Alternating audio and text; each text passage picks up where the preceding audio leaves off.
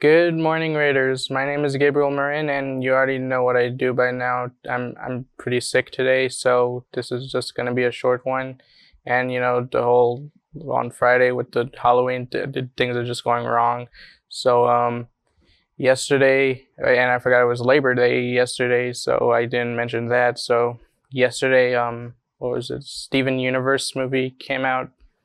That was pretty much it for yesterday, and um, today what day is it? September September third. Um, it was Daniel Tiger's Neighborhood in 2012.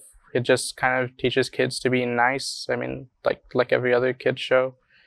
Um, that's that's pretty much it for today. Tune into tomorrow to see what happened on that day in pop culture, and hopefully, I'm feeling better by then.